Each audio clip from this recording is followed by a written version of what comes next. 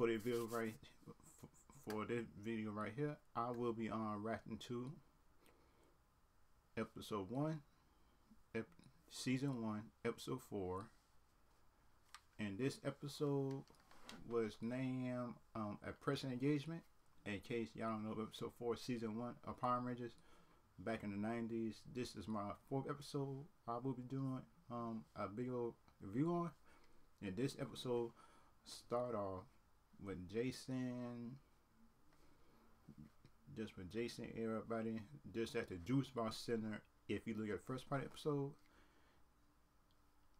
um, they, and and this episode right here is Jason centric, and and I will tell you throughout this review how how this episode Jason centric and stuff like that. In my opinion, if you look at the second episode, it was the first episode was about the whole team. The second episode was about training. The third episode been my teamwork. This fourth episode is about Jason. Where I feel like not about giving up and know and knowing when to give up and knowing when to fight. I think in my opinion. But in this episode, it starts with Jason just trying to break the world breastbreaker record that was set by Bulk by no other ones, I think. Has set the record. I don't know how he did it, but he did it. In the first episode, Jason couldn't do it and he just had quit. I don't think he quit. I, I think Ernie just had lost count and Jason couldn't do no more. And but but that was me. I would have mad at Ernie doing that part episode. I, I would have said, wait a minute, you not counting and you expect me to break a record? I would have been mad. I would been mad. Told something. I, I try to break a record and you can't count and you busy eating. I would have mad in my opinion. But some people might not have been mad. But me, I would have mad about it. And the, first episode, Kimberly came over, just tried to encourage them. It didn't work. It kind of kind of worked in a while, but after a while it didn't work because Ernie lost count and Jason couldn't do no more after that in the first episode and Bulk Bulk coming in just being that and that was Rita Skull always doing something bullying somebody and Jason just had um, handled that. He handled that. He handled that good I think in my opinion. But um but but um after Rita had saw Jason quit just by no fault of his own. I, I think, in my opinion, Rita saw it, and that what Rita said separate the Rangers for Jason, just but Jason could be destroyed. I think, in my opinion, that that was her plan: to separate the Rangers from Jason because Rita knew that Jason was the leader, he was the strongest. During the four episodes, he, he was the best fighter besides Zach.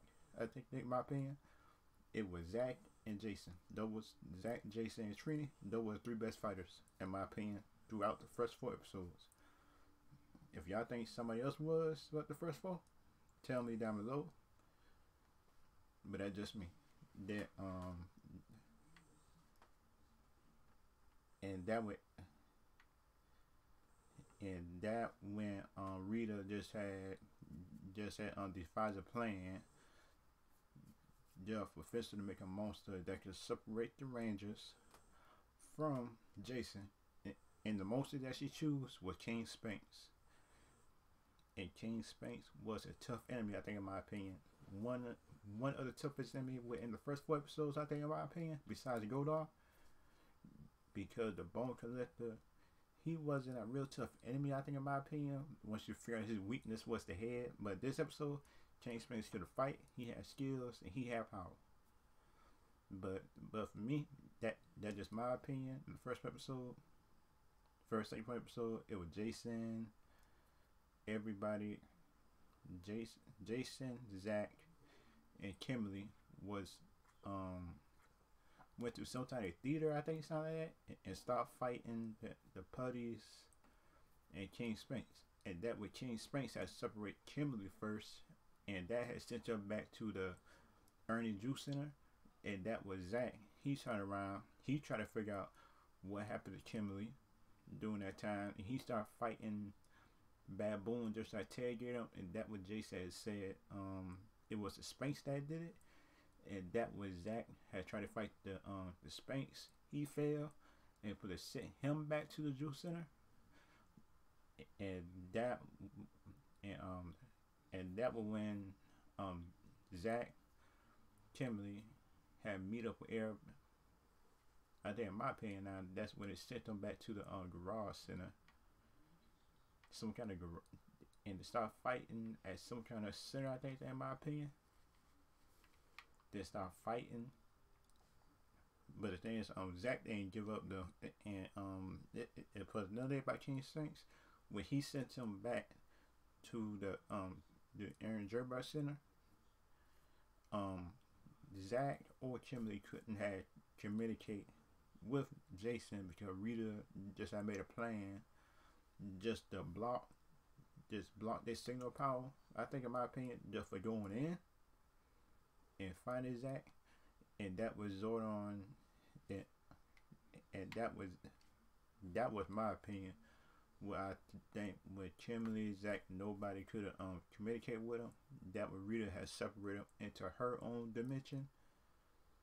With King Spanx and Goldar could fight Jason just by Jason by himself. But the thing is, Jason just hold his own. He was a good fighter already, and he is a good leader. I think, in my opinion, within the first four episodes. But it's just my opinion. But the thing is, if y'all got something different to say, just put it down below. But me, but me, I think Jason's a good leader. He a good fighter. He would never give up doing a fight. In my opinion, he'll fight to the last breath. But that's just me, in my opinion, about it though. But at then, um, and just with Jason and was just Jason was fighting Goldar and Spanx at the same time. But uh, doing that fight, that was Trini, Zach, Billy. I would say Trini, Zach, Kimberly, and Billy went to the um just had meet up just in the garage just trying to find Jason. And that what Kimberly had tell everybody else that Jason need help. And that would all of them just had teleport to the um, command center. And Zordon just had came up with a plan and said um send your crystals over to Jason. When Jason could um send y'all there and help him. And y'all can help him during the fight. But that's just my opinion. And um and that was Jason finally admit that um during the fight he needed help fighting Goldar and Spanx. But the thing is, uh, fighting one of them was a challenge. But the thing is, when you had to fight on uh, both of them, that's gonna be a problem. I think, in my opinion, though, my opinion would be a problem. But um, that with Jason, Jason had found the crystals. He found them, thrown, and that way everybody else that came to help and that when all of them had put out the Zords, the Zord fight in between Spanx, in, in between King Spanx and Goldar, that fight was a good fight. In my opinion, that that was one of the best Zord fights, and and the first four episodes that I done seen so far in the season. But I now look at that's one of the best Zord fight because he fighting two people, and Zordon not Zordon, but Goldar and King Spanx is had give the Rangers the hardest fight. I think, in my opinion, with, with in the first four ep- episodes, that was the hardest fight I've seen.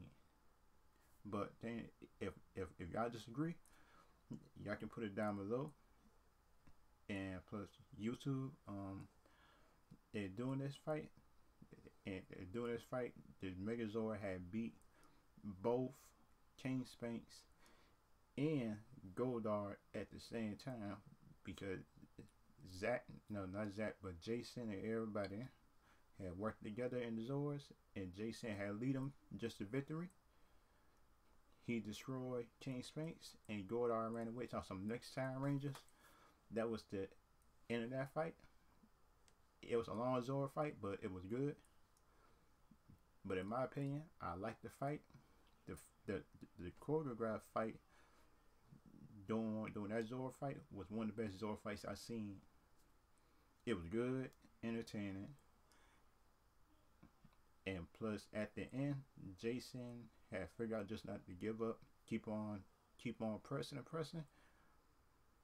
And he finally figured out just how to ask for help, teamwork, and just not to give up. And plus, the, the end of this episode, um, I give this episode a five star episode. He could have seen like Jason just had an arc. He figured out he needed a t- teamwork. He needed teamwork. That he needed not to learn how not to give up. I think, in my opinion, but some people might disagree. But um, y'all can put y'all can put y'all um this y'all opinion down below what you think this episode was about. But me, that was my opinion of the episode, and and, and just my review of it. And YouTube, I'll see y'all. I'll see y'all later, and see y'all next episode. Okay, I'll see y'all later. Be safe. Be safe and be cool.